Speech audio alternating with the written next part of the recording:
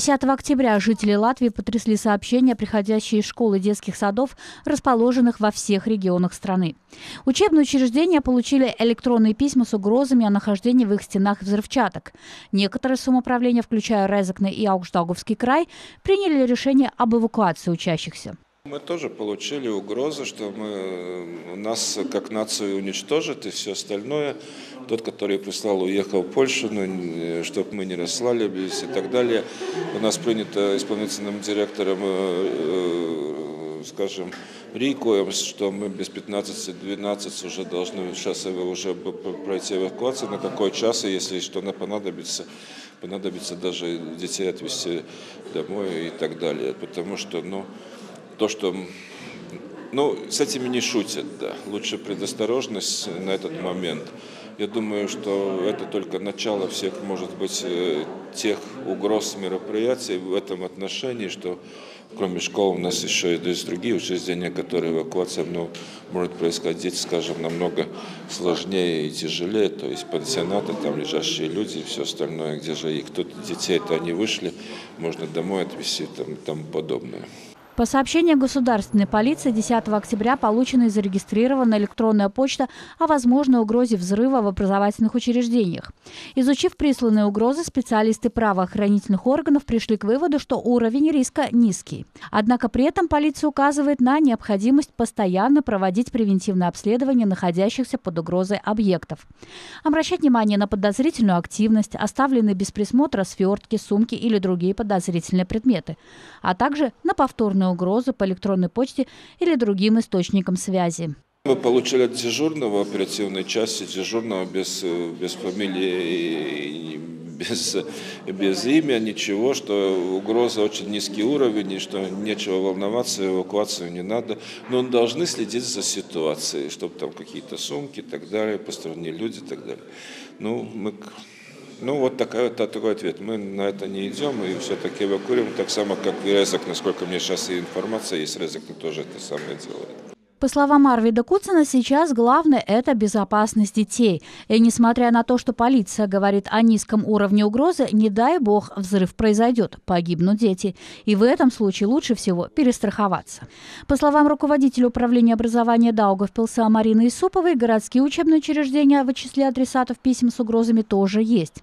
Но в Даугавпилсе эвакуация детей не проводилась, так как полиция определила уровень угрозы как низкий и не советовала этого делать. Тем не менее, менее, в учебных учреждениях по совету полиции проявляют повышенную бдительность. 9 октября в Даугавпилсе начался отопительный сезон. Столбики термометров заметно упали в эти выходные. Охладить наши квартиры помог и шквальный холодный ветер, который буйствовал на территории страны, в том числе и в городе, все выходные. И со вчерашнего дня мы трогаем свои батареи, чтобы понять, насколько хорошо они греют. Нередко при работе систем отопления происходят сбои, связанные с образованием в них воздушных пробок. Скапливающийся воздух приводит к появлению лишних шумов в трубах, а также становится причиной отсутствия тепла в батареях. В таком случае необходимо произвести развоздушку, то есть спустить воздух от батареи и труб отопления. Специалисты по ЖКХ уже с понедельника работают в режиме нон-стоп, решая эту проблему. Предприятие жилищно-коммунального хозяйства напоминает, что в случае, если у вас не работает одна или все батареи, даны необходимые контакты для того, чтобы подать заявку на развоздушку. Клиенты по ЖКХ могут звонить в аварийную службу по телефону 654 76 100, в абонентный отдел по телефону 654 07 284 или же можно обращаться в свои домоуправления. Телефоны указаны на сайте предприятия www.ddzksu.lv. На очередной пресс-конференции Даугавпилской городской думы был поднят вопрос о государственных средствах на приобретение различных учебных средств, включая рабочие тетради. Ситуацию прокомментировала руководитель управления образования Марина Исупова. Она отметила, что данная проблема не является ярко выраженной в городских учебных учреждениях. Рабочие тетради используются в учебных учреждениях согласно составленному плану. Администрация школы утвердила этот план о покупке и использовании учебных средств. И рабочими тетрадями, как и учебниками, должна обеспечить школа.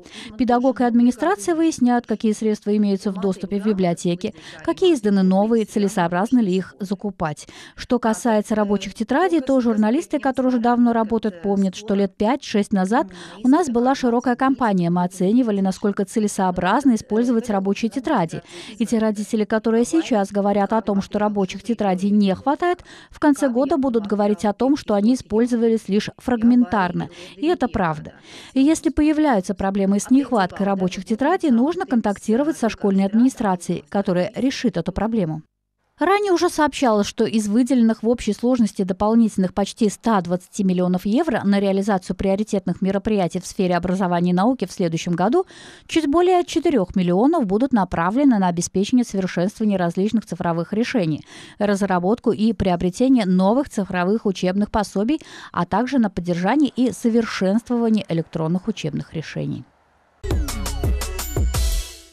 Управление коммунального хозяйства Даугавпилса сообщает, что на площадке по переработке биологически разлагаемых отходов Лигнишки можно бесплатно сдать зеленый мусор.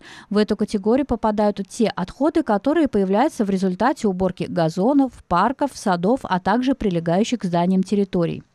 Площадка создана в рамках проекта Фонда Когезии Евросоюза и работает с осени прошлого года. Скошенная трава, листья деревьев и кустарников и садовый мусор на этой площадке принимаются от юридических и физических лиц. Категорически запрещается сдавать подлежащие биологическому распаду отходы с примесями бытовых или строительных отходов. Время работы площадки ежедневно с 8 до 19 часов. И в этом году на территории Даугавпилса будет продолжена акция по сбору зеленой массы. В нескольких местах города будут установлены контейнеры для биологически разлагаемых отходов. Даты проведения акции будут зависеть от погоды. Ожидается, что она будет проведена в конце октября, начале ноября.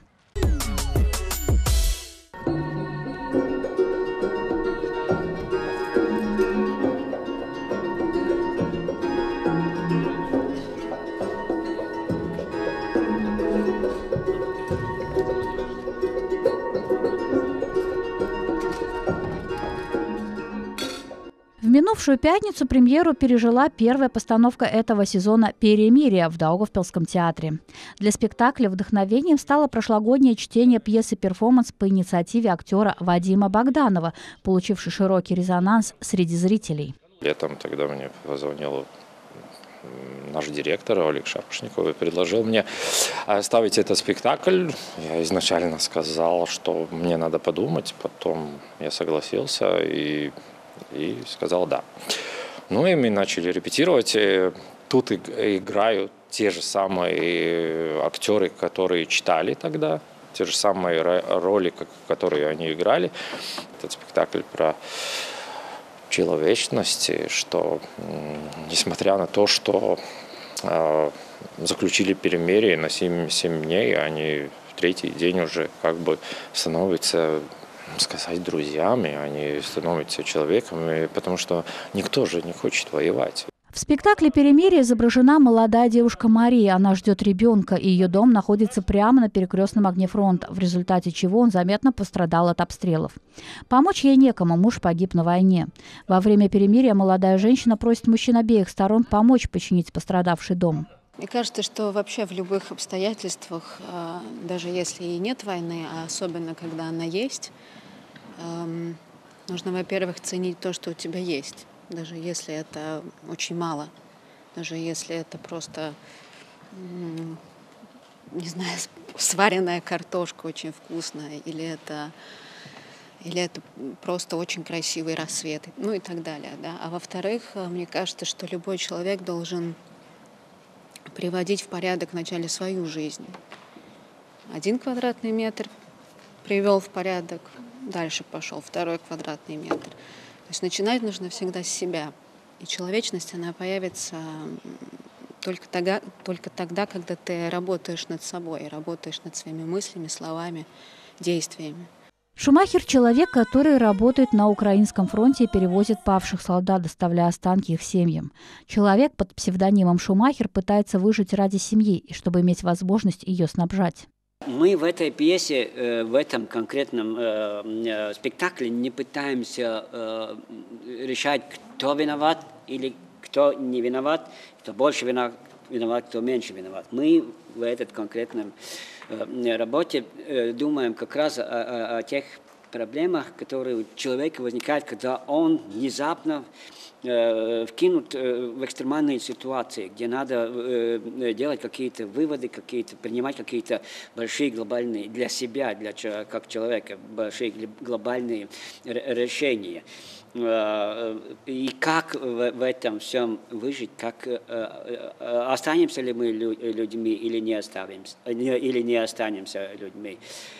На вопрос о том, как на самом деле увидеть человека на другой стороне войны, Марис Корсиец ответил, что, по его мнению, ответ заключается в способности простить.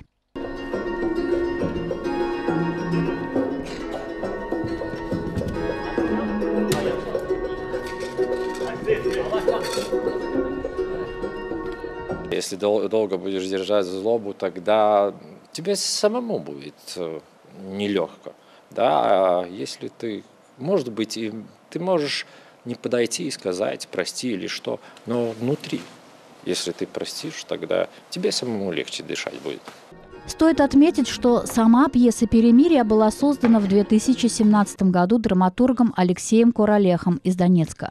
Его вдохновили реальные события, когда во время перемирия солдаты обеих воюющих сторон ремонтировали крыши домов, поврежденных во время военных действий. Следующий спектакль запланирован на 13 октября, начало в 18.30.